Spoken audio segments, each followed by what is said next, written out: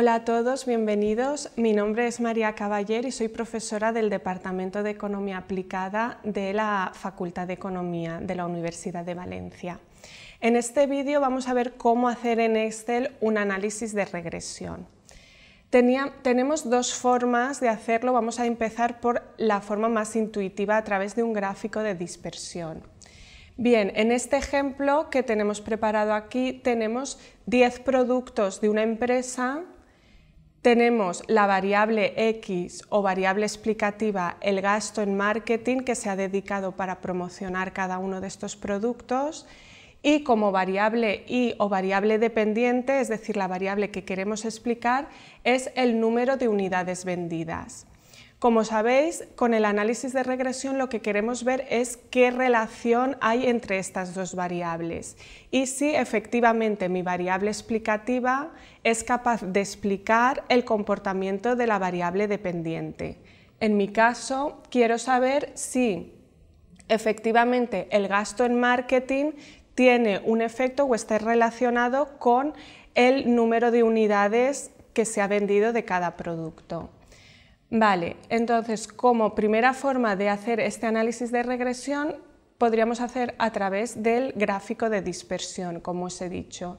Para ello tenemos que seleccionar ambas variables, vamos a insertar gráfico y seleccionamos el gráfico de dispersión. Como vemos, recordamos que el eje X es el gasto en marketing y el eje Y son las unidades vendidas de cada producto. Como vemos ya intuitivamente podemos ver una tendencia positiva y una cierta correlación entre ambas variables, es decir, observamos que conforme va aumentando el gasto en marketing, también lo hacen el número de unidades vendidas.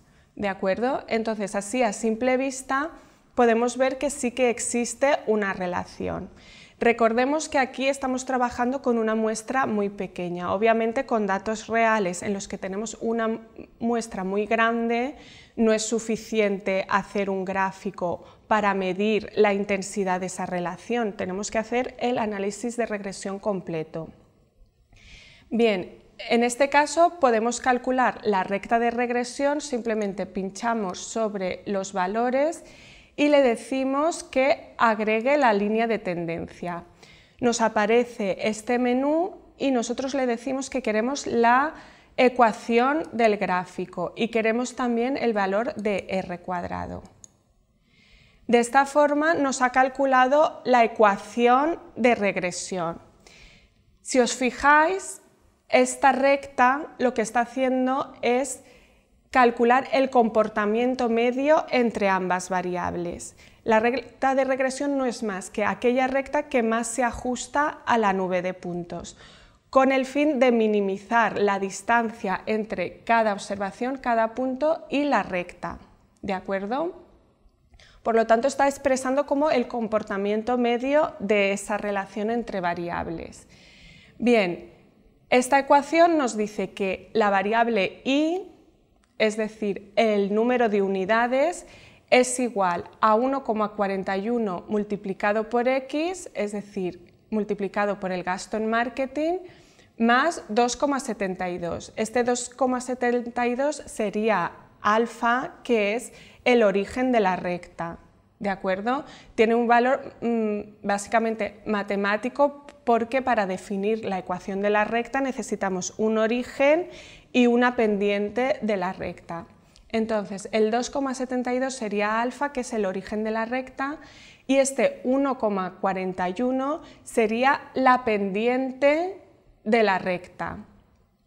¿Y esta pendiente qué información nos está dando? Recordar, aquí estamos multiplicando por X, que es el gasto en marketing, por lo tanto nos está diciendo que cada unidad que se aumenta el gasto en marketing cada unidad que se aumenta X y la variable Y aumentará en 1,41. ¿De acuerdo? Entonces nos está diciendo un poco, nos permite hacer también una predicción de las unidades vendidas respecto a eh, el dinero que invertimos en marketing para promocionar el producto. ¿De acuerdo? Bien, esta es nuestra ecuación de la recta, pero obviamente matemáticamente nosotros podemos calcular cualquier ecuación de, regresión entre dos variables. Lo que realmente nos dice si esa relación es estrecha o no, es fuerte o no, es el coeficiente de correlación, el r cuadrado. En este caso tenemos un r cuadrado igual a 0,71. Entonces, esto quiere decir que sí que hay una fuerte relación entre ambas variables. Recordar, el r cuadrado toma valores entre 0 y 1. Un r cuadrado cercano a 0 quiere decir que no hay ninguna relación entre estas variables.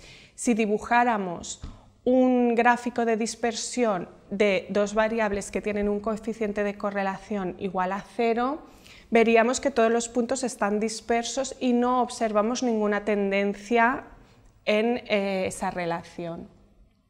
En cambio, valores cercanos al 1 nos están diciendo que efectivamente sí que hay una tendencia, eh, una relación entre estas dos variables. ¿De acuerdo?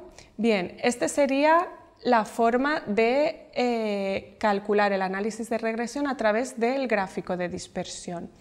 Otra opción sería la de eh, a través de datos. Para ello tenemos que primero habilitar la opción correspondiente. Para ello vamos a Archivo, Opciones, Complementos y en Complementos de Excel tenemos que seleccionar Herramientas para el análisis.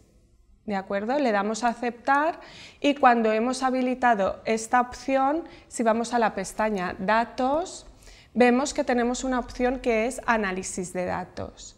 Clicamos y nos aparece un menú en el que podemos seleccionar, entre otras cosas, regresión.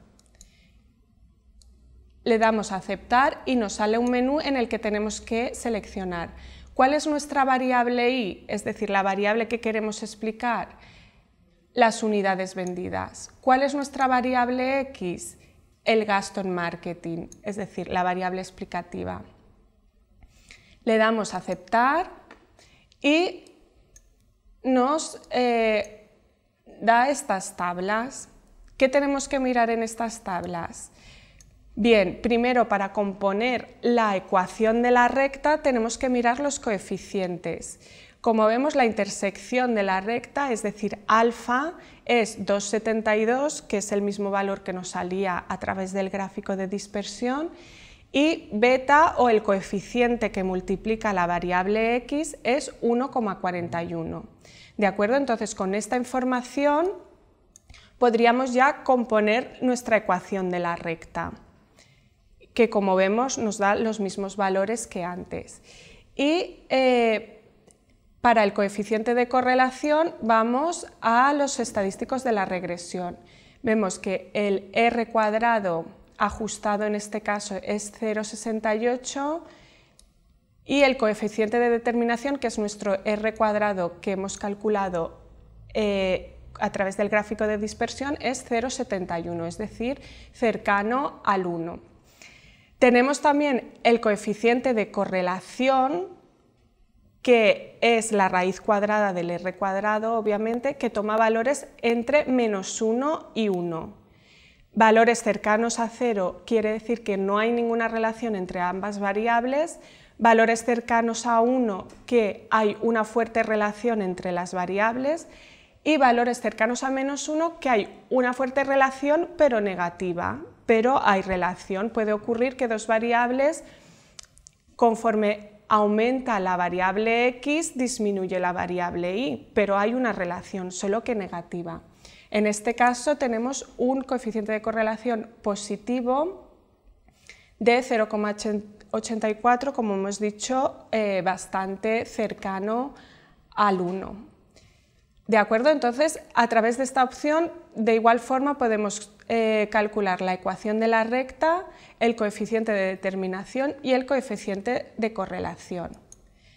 Por lo tanto, concluimos que efectivamente en este ejemplo el gasto en marketing sí que tiene un efecto en el número de unidades vendidas. Si yo fuera el gerente de la empresa, pues sabemos que mm, frente a un, aumento unitario del gasto en marketing, mis, eh, las ventas vendidas de ese producto aumentarán previsiblemente en 1,41. Y este es el final de este vídeo, espero que os haya sido de utilidad.